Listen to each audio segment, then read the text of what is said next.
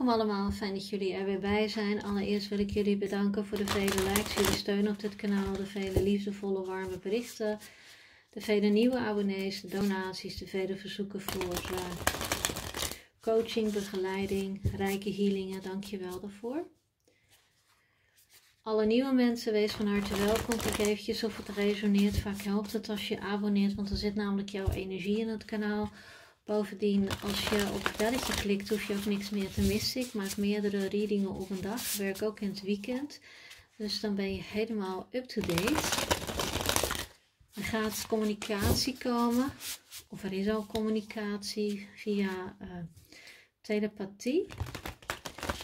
Het gaat over een uh, verzoeningspoging. Iemand die jou pijn heeft, heeft gedaan. Of andersom. En gebruik je wijsheid of je die persoon gaat toelaten, ja of nee. Het kan zijn dat deze persoon ziet dat jij uh, nu een stabiel, goed leven hebt opgebouwd.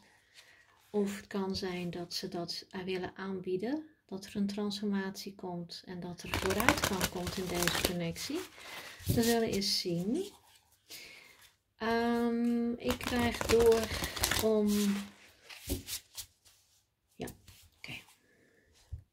Wat mogen wij weten over deze connectie?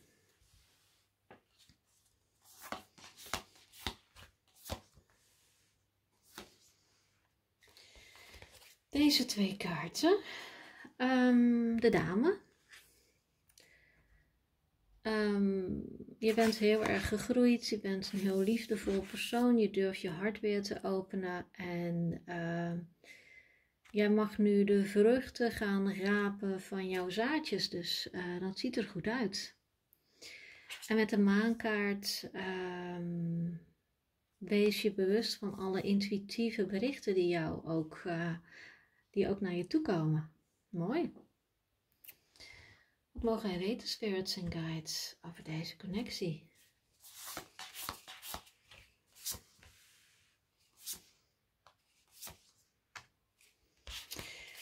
Um, er komt een bepaald aanbod jouw kant uit. Kan zijn van een vuurteken. Dit is een schildknaap van staven tenslotte. Iemand is enthousiast, creatief. Um, heeft ook een zekere zin een passie. En um, willen op de een of andere manier uh, met jou een bepaalde kant uit. Met de acht van bekers um, kan het goed zijn dat je deze persoon eigenlijk achter je hebt gelaten. Um, er was ontrouw, er was pijn, verdriet. En daardoor heb je voor jezelf gekozen. Je was sterk genoeg, je hebt geheeld. En je, bent, uh, je hebt deze persoon achter je gelaten. Dat heeft jou heel veel gebracht. Je hebt heel veel van jezelf geleerd. Je kon het prima alleen. Um, maar omdat deze persoon um, toch weer contact met je gaat zoeken, kan het zijn dat je daardoor um, gaat twijfelen. Ga ik die persoon nog een kans geven of zet ik dit door en laat ik de persoon voorgoed achter mij. Mogen wij nog meer weten? Luister daarbij heel erg goed naar je intuïtieve berichten die jou bereiken.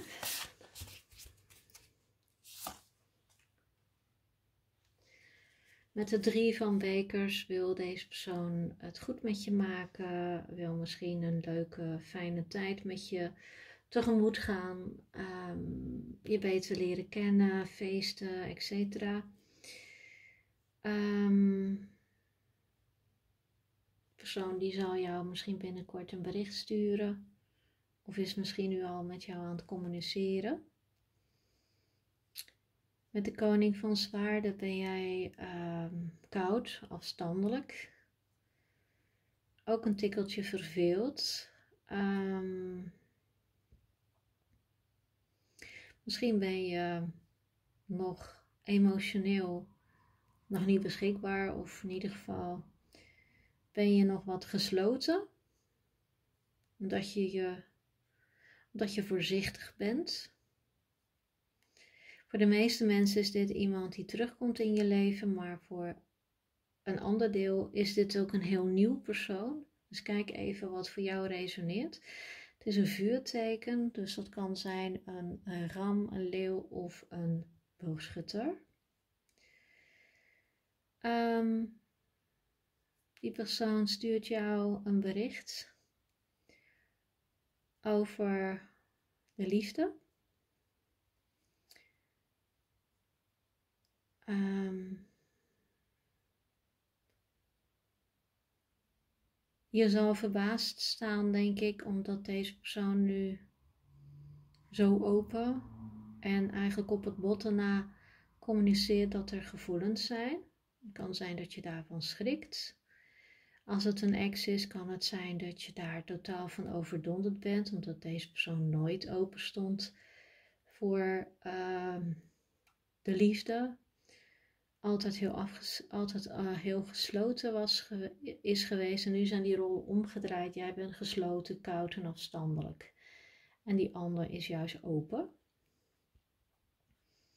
En als het een nieuwe persoon is, dan weet je ook niet waar dat ineens vandaan komt. Die verandering kan zijn dat het gaat om iemand met wie je een vriendschap hebt en die ineens spontaan de liefde bekent. Dus ook dat kan jou een beetje uit evenwicht brengen. Vandaar dat je het advies krijgt om naar jouw intuïtie te luisteren. Mag ik nog meer weten, spirits en guides?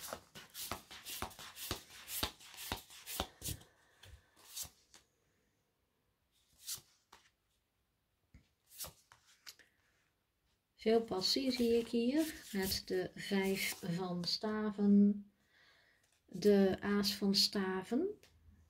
Um,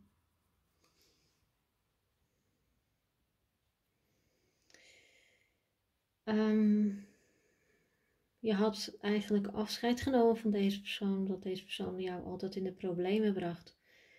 Altijd voor drama zorgde, altijd voor conflicten, uh, woordenwisselingen uh, iemand die graag altijd uh, de aandacht op een negatieve manier naar zich toe trok. En nu vraagt deze persoon, uitgerekend deze persoon vraagt jou dan om uh, een nieuwe kans. Dus wat ik zeg, bij de meesten is, gaat het om een ex. Um, getuigen niet alleen de liefde, maar zeggen ook dat ze van het verleden hebben geleerd en dat ze er echt aan willen werken. En um, ze willen jou dus deze keer echt een nieuw begin met de aas van geven.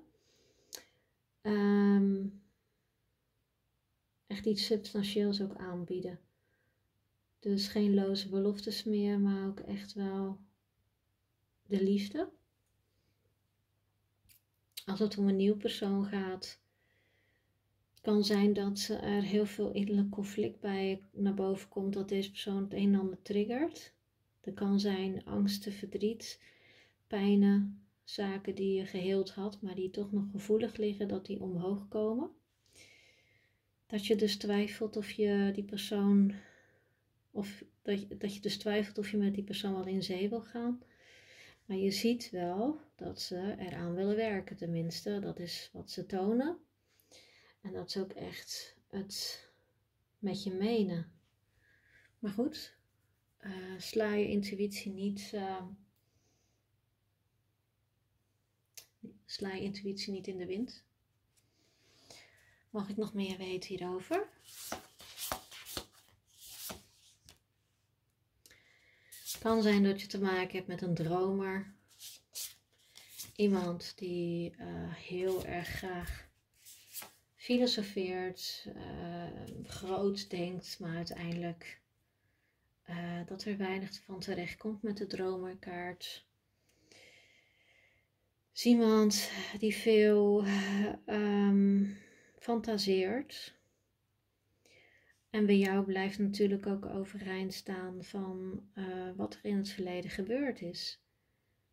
En ehm, dat het vertrouwen geschonden is en dat dat niet zomaar iets is waar je overheen stapt.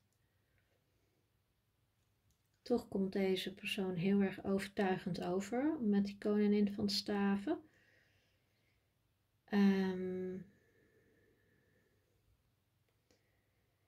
en blijft jou romantisch uh, bestoken.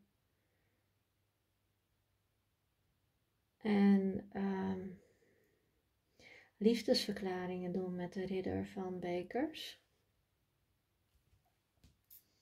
Wat is uh, uiteindelijk het advies hier op Spirits and Guides, behalve naar intuïtie uh, luisteren?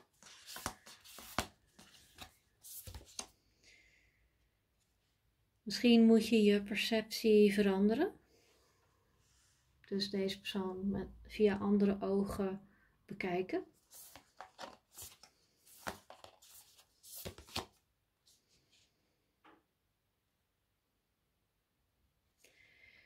Misschien moet je je standaarden verhogen. Dus uh, dat je geen dromer wilt, maar iemand die daadwerkelijk um, ervoor wil gaan. Wees open, eerlijk en maar ook dapper door waarheid te zeggen, ook al is het misschien soms een beetje hard voor de ander om te horen, zodat je dus ook jouw grenzen aangeeft.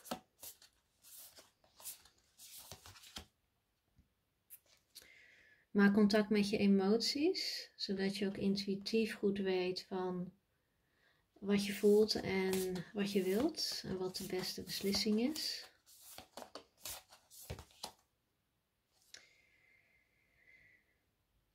Um, behoud ook een zekere ruimte. Ruimte voor jezelf. Dus uh, niet meteen snel uh, op berichten reageren. Um, doe de dingen, doe jouw eigen dingen. Neem daar ook de tijd voor. Gooi dat niet overhoop. Um, jouw stukje, jouw stukje kwaliteit, jouw eigen ding doen, dat, um, daar moet je voor waken.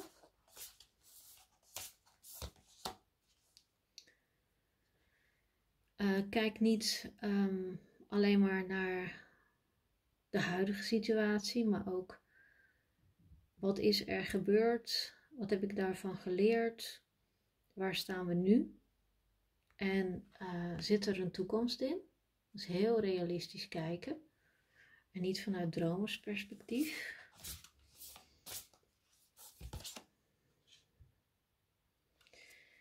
Probeer jezelf en je energie af te schermen, zodat je ook echt uh, pure intenties te weten komt.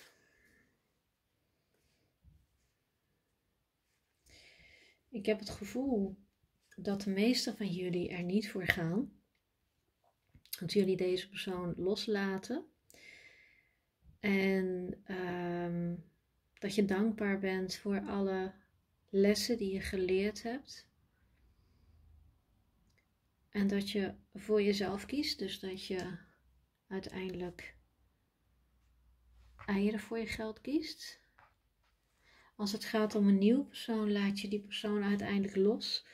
Omdat je ziet uh, dat het een dromer is dat um, het heel veel poeha is, heel veel verhaaltjes, maar dat je daar geen toekomst in ziet, omdat iemand niet stappen zet, omdat iemand niet dingen concreet maakt. En ook dan um, kies je voor jezelf en laat je die persoon los. Want je hebt die persoon niet nodig. Uh, voorheen had je misschien het gevoel van uh, ik ga ervoor, want ik heb toch niemand anders en anders ben ik maar alleen, arme ik, etc. Uh, eh, maar je hebt zoveel geleerd. Je weet, nu je alleen was en deze persoon achter je had gelaten, toen ben je juist een succesvol pad ingeslagen. En daardoor ben je dus ook tot het besef gekomen dat je eigenlijk niets of niemand nodig hebt. En daardoor kan je dus nu een hele objectieve uh, keuze maken. Uh, aan de ene kant en aan de andere kant ook intuïtief, hè? heel goed, omdat je daarin gegroeid bent van um, nee, deze persoon past niet bij mij. Mijn leven is goed op orde. Als iemand nu um, naar mij toe komt, dan moet die van goede huizen komen. Die, en dat is wat je je nu beseft. En daardoor kan je deze persoon uiteindelijk toch loslaten zonder schuldgevoel. Um, bedanken voor alle levenslessen. Hoe kort ook de connectie was. Als het gaat om een nieuw persoon en um, als het een persoon uit het verleden is, ook daar in ieder geval compassievol voor bedanken. Zodat je het netjes kunt afsluiten en um, zonder, uh, met positieve karma vooruit kunt gaan. Ik hoop dat het resoneert. Als het resoneert mag je liken, delen. Je mag natuurlijk altijd abonneren. Dank je wel weer voor het kijken en tot de volgende keer. Namaste.